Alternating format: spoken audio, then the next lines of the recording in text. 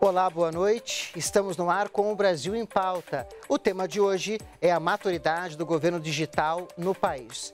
E para falar sobre este assunto, conversamos com o secretário de Governo Digital do Ministério da Economia, Fernando Coelho. O Brasil acabou de ser classificado pelo Banco Mundial como o segundo país do planeta em termos de maturidade digital. O estudo considerou 198 países e só ficamos atrás da Coreia do Sul. Para chegarmos à segunda colocação, 48 indicadores foram levados em conta em quatro setores, entre eles a prestação de serviços públicos no formato digital. Muito obrigado pela presença aqui no Brasil em Pauta. Boa noite, secretário. Boa noite, Paulo. Eu agradeço a oportunidade de estar aqui falando desse tema tão importante. A questão da digitalização dos serviços públicos é uma questão central em governos por todo o mundo, tanto que tem esse estudo do Banco Mundial, divulgado agora em novembro, considerando 198 países. Queria saber do senhor como o Brasil recebeu essa informação de que, em termos de maturidade digital, somos o segundo país no mundo atualmente? A gente recebeu, Paulo, essa informação com uma grande alegria, porque essa é uma agenda que envolve um conjunto de atores, um conjunto de pessoas muito grande. Então, praticamente todos os órgãos públicos federais, eles estão envolvidos nessa agenda. Claro, em torno de uma estratégia, uma estratégia clara, mas é bastante gente envolvida. São aí centenas de órgãos federais, né, é, muitos servidores públicos e autoridades atuando nessa agenda, um esforço enorme para conseguir levar para a população serviços públicos que são efetivos, que trazem a efetividade da cidadania né, para facilitar o acesso a direitos e também permitir né, o cumprimento dos seus deveres de forma mais facilitada. Então, na medida em que esse conjunto de atores bastante grande recebe essa notícia, que é um reconhecimento, para a gente foi com muita alegria e, na verdade, é um grande incentivo para continuarmos, né, sabermos que estamos no caminho certo e seguirmos então prestando esses serviços cada vez mais efetivos, simples e fáceis para a população. Saímos da sétima colocação no ano passado para a segunda colocação, agora ficando atrás apenas da Coreia do Sul. Como que o senhor vê essa ascensão? Ao que o senhor atribui essa ascensão? Essa ascensão se dá à execução de um plano, execução natural de um plano que começou em 2019, ou seja, um planejamento utilizando as melhores práticas internacionais para prestarmos serviços públicos cada vez mais fáceis, centrados no cidadão. Então, essa execução dessa estratégia, ela se dá a partir de 2019, com cada órgão constituindo o seu plano de transformação digital, com o monitoramento pelos órgãos centrais de governo e essas ações elas vão sendo executadas, então a gente vai aumentando o nível de execução dessas iniciativas ao longo desses quatro anos. Então, na medida que a gente tenha ali, em meados dessa, dessa execução, uma leitura que nos colocou na sétima posição, e depois a gente, é, a, a, na próxima leitura, já tem a, concreti, a concretude de novas iniciativas sendo levadas a cabo, a gente tem naturalmente, então, uma, uma nova oferição que leva a gente a uma maior completude do atendimento daqueles itens avaliados pela, pelo Banco Mundial no caso desse relatório. Então, é fruto da execução natural de uma estratégia que tem se mostrado assertiva, né, endereçada aí no que preconizam os principais organismos internacionais em termos de que é uma, uma agenda de governo digital efetiva. Agora, considerando os 10 primeiros colocados, a gente tem no mundo ocidental apenas Brasil e França. Não, temos Estônia, temos outros países é, também, né, Eu da, vi que tem da países Europa. árabes, países africanos, asiáticos. Perfeito. Essa, esse é um estudo que ele, ele toca de uma maneira mais pontual, mais direta a agenda de governo digital, aquela que as áreas, as secretarias, as agências de, de governo digital atuam no mundo, que é a oferta de serviços públicos, a estruturação de sistemas estruturantes para melhor gestão da máquina, a identificação dos mecanismos é, de habilitadores de governo digital, se há uma estratégia, se há uma governança, se há uma execução efetiva. Então, esse é um estudo que ele, ele mais delimita esse papel efetivo de governo digital. Alguns outros estudos é, trata alguns, algumas proxies mais indiretas e esse é um que a gente tende, que, que tem mais a cara da Secretaria de Governo Digital, daquilo que a gente, que a gente faz realmente. Então, ele traz então esses atores que estão realmente conseguindo levar para a população serviços que são perceptíveis, né, é, é, que, que realmente têm trazido facilidade na interação do Estado com o cidadão. Então, ele, ele apresenta, sim, países do Ocidente, e o Brasil, no Ocidente, hoje é o país líder né, dentro dessa nova conformação desse estudo do Banco Mundial, que é considerado aí um dos estudos do estado da arte em termos de governo digital, de, que traz ali práticas efetivas. Né? Para cada pergunta, para cada indicador, é, é, ali são exigidas evidências daquela, daquele atendimento, e assim o Brasil pôde completar ali praticamente quase todas as iniciativas que são. E a metodologia do estudo? 48 indicadores divididos em quatro áreas. Queria que o senhor falasse um pouquinho para a gente, até para o telespectador ter uma ideia né, da profundidade do estudo. São 48 indicadores que eles bebem de alguns estudos né, que já existem, como estudos da Organização das Nações Unidas, mas a parte mais relevante dele é, é uma pesquisa que é feita com as áreas de governo digital de cada país, em que, como eu comentei, são feitas perguntas em quatro grandes eixos um eixo de sistemas estruturantes, ou seja, uma abordagem voltada para a gestão da máquina do, do Estado. Né? Então, eles levantam ali nas diversas frentes quais são os sistemas, as evidências que ele exige, qual o nível de profundidade de adoção desses sistemas. Ele tem um segundo eixo, que é o eixo de oferta de serviço, então a visão mais para fora, mais para o cidadão, né? como é que se dá essa oferta, se ela está organizada, num catálogo padronizado. Ela tem um terceiro eixo, que é de engajamento né? e transparência, então, como é que a gente consegue trazer a população para contribuir no desenho desse serviço, também para contribuir para as políticas públicas. E um quarto eixo que diz respeito é, é, a como a, a, gente habilita essa questão. Então, como é que se dá a governança, a estratégia, a visão também implementada, temos mecanismos de acompanhamento da execução dessas iniciativas, ou seja, as iniciativas estão sendo efetivas. Então, é, basicamente são esses quatro eixos e, e vários indicadores. Então, e eram quatro níveis de classificação. Muito alto, alto, médio e baixo. Se eu não me engano, era isso. Perfeito. E o Brasil ele figura como muito alto nos quatro eixos. O Brasil tem realmente um, uma, uma atuação bastante completa, bastante abrangente nessa questão do, do governo digital. Agora, o grande case, o grande é, exemplo que é analisado é a plataforma GovBR. É isso, secretário? Sem dúvida. A plataforma GovBR, ela materializa essa estratégia de governo digital que foi lançada aí ao longo dessa administração. Então, ela reúne os principais requisitos para a gente é, é, consolidar a oferta de serviços públicos num único local. Então, veja que é, é há poucos anos atrás, o cidadão ele tinha que se dirigir para portais de cada órgão né, específico para buscar serviços, buscar informações. Né, ele tinha um login específico, né, uma autenticação específica em cada um desses portais. E o GovBR ele conseguiu congregar todos esses órgãos num único espaço, né, padronizando essa oferta, tanto de informações quanto de serviços, e permitindo ao cidadão uma identidade única. Então, o cidadão não tem que mais que ter vários cadastros em vários órgãos, tendo que administrar diversas senhas, é, é, com problemas de segurança, inclusive, envolvidos com isso. Hoje, ele tem uma conta única, que é a conta do GovBR, são 140 milhões de cidadãos que já têm a conta, praticamente a população adulta inteira já tem um, uma conta GovBR e com essa conta ele consegue aí é, exercitar a sua cidadania, né, seja para é, é, acessar os, as, os, seus direitos e também uma forma facilitada de cumprir os seus deveres. Né? Então, a, a, plataforma GovBR ela materializa toda essa agenda é, é, num, num grande produto, uma grande plataforma que congrega a oferta de serviços públicos federais para a população. E são quase 5 mil serviços públicos federais digitalizados na plataforma. Perfeito. Um dos grandes elementos dessa plataforma é o catálogo de serviços. Ou seja, uma das, das questões chaves da agenda de governo digital é a gente sair né, da época do governo eletrônico, que era muito focado em sistemas, para uma oferta de serviços centrados no cidadão. Então, a gente... É isso que vai garantir o engajamento do cidadão. Sem dúvida nenhuma. Que, ou seja, a gente deixa de ter uma abordagem tecnológica para uma abordagem de cidadania, para uma abordagem de foco no cidadão, de prestação de serviço. Então, ao longo desse período, a gente amadureceu essa carta de serviço junto com os órgãos por meio da execução dos seus planos de transformação digital.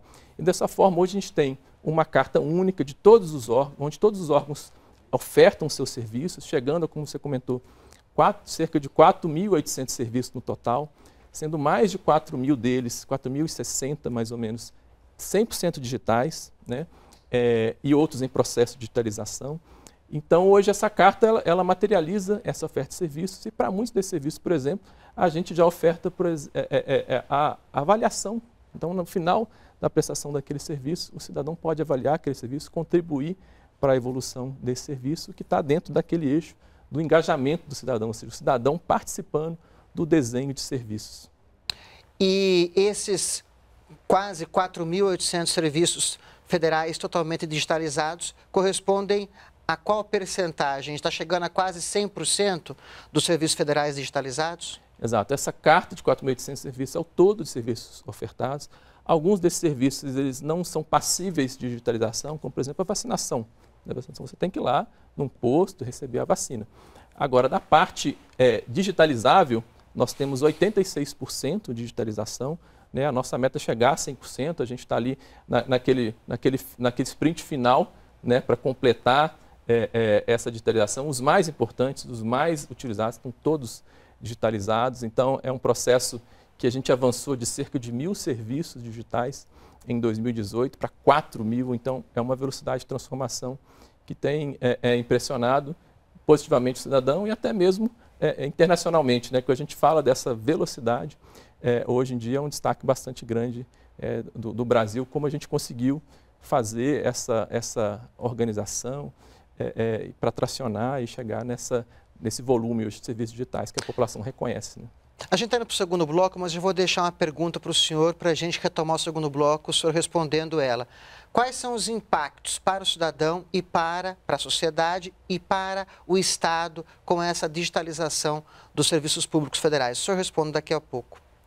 Nós vamos para um rápido intervalo e voltamos em instantes. Hoje, nosso convidado é o secretário de Governo Digital do Ministério da Economia, Fernando Coelho. Voltamos em instantes, não saia daí.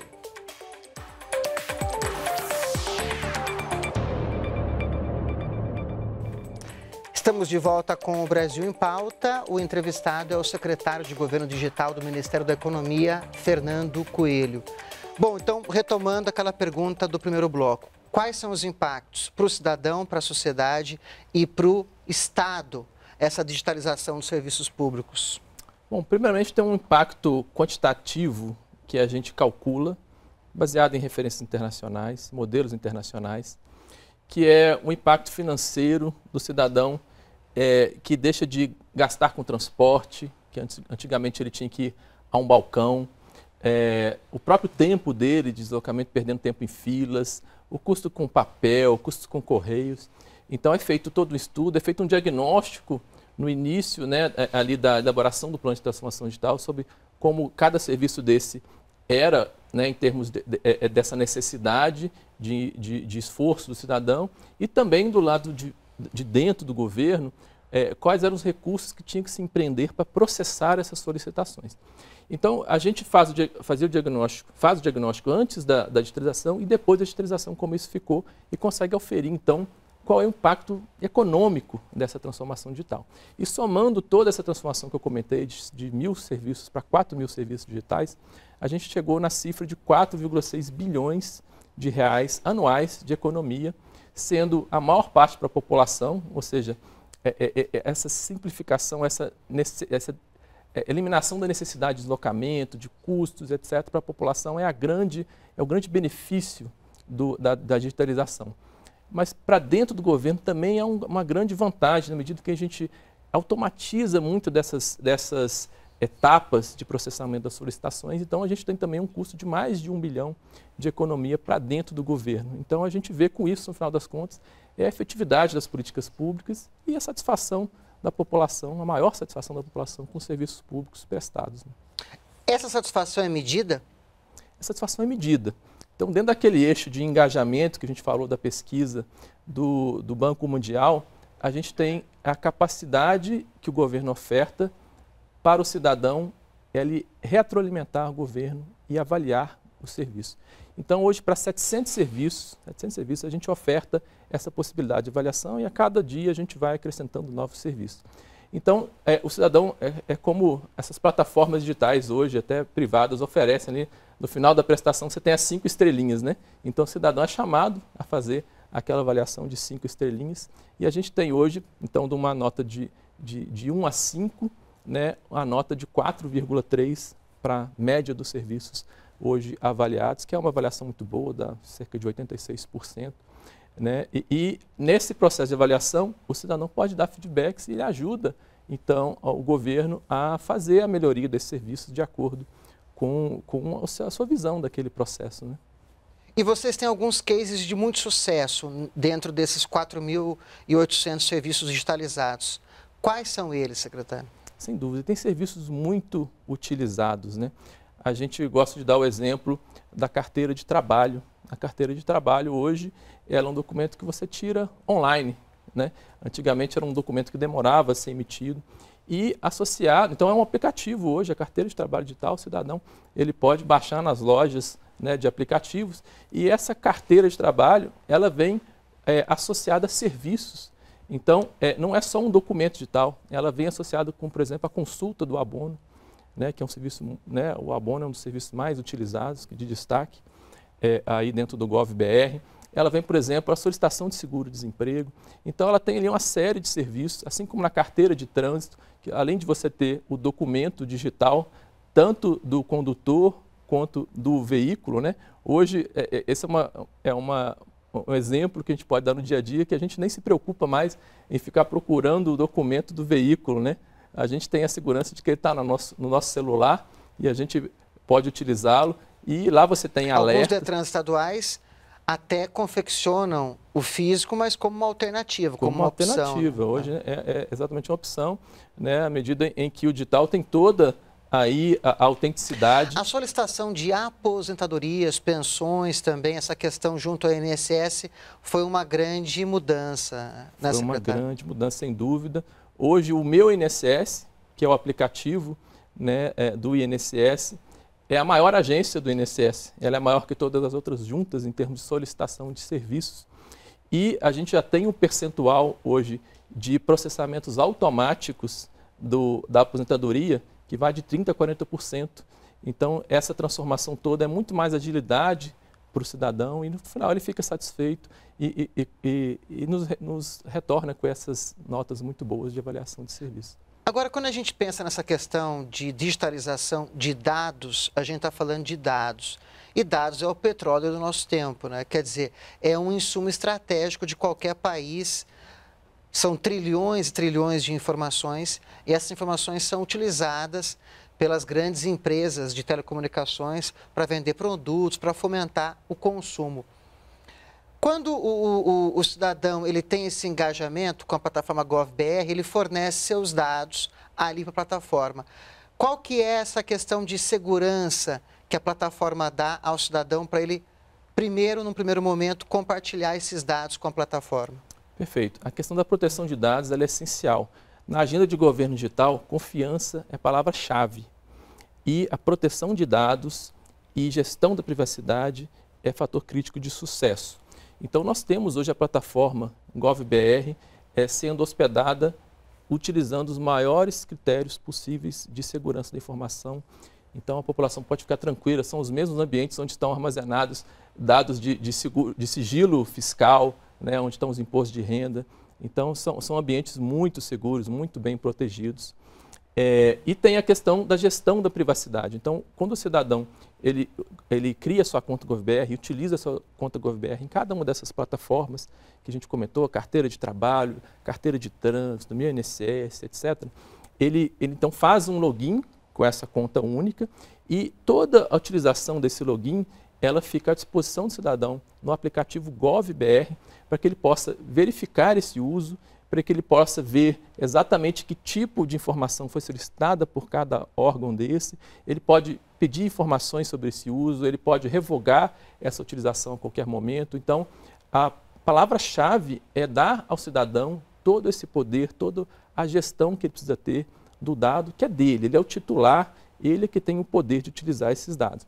É claro que esses dados também, eles podem e devem ser utilizados, como preconiza a Lei Geral de Proteção de Dados, para a gestão pública, para elaborar políticas públicas. Então, é passível utilizar esses dados para fazer análises né, anonimizadas, sem chegar no nível do cidadão, para evoluir as nossas políticas públicas. É possível também utilizar esses dados para ofertar serviços mais simples. Então, tem um princípio chamado once only, que ou seja, apenas uma vez, o cidadão ele é obrigado a dar a informação para algum órgão público. Então, o órgão público tem esse comando de, dentro da máquina pública, se organizar para que um outro órgão público, onde esse cidadão venha a se relacionar, não peça a mesma informação para ele de novo. Então, isso se chama interoperabilidade de dados.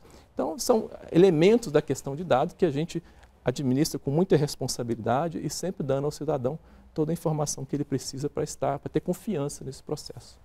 Secretário, muito obrigado pela entrevista aqui no, no, Brasil em Pauta, falando de um tema tão importante que é a digitalização dos serviços públicos e essa questão do tratamento dos dados dos cidadãos.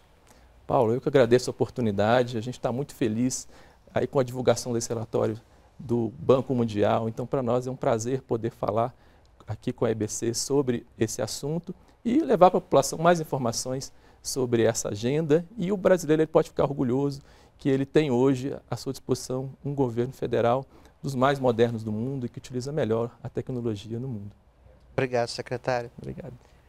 O Brasil em Pauta recebeu nesta edição o secretário de Governo Digital do Ministério da Economia, Fernando Coelho. Se você quiser rever esta ou outras entrevistas, é só acompanhar as nossas redes sociais ou baixar o TV Brasil Play. E o Brasil continua em pauta aqui na TV Brasil até o próximo programa.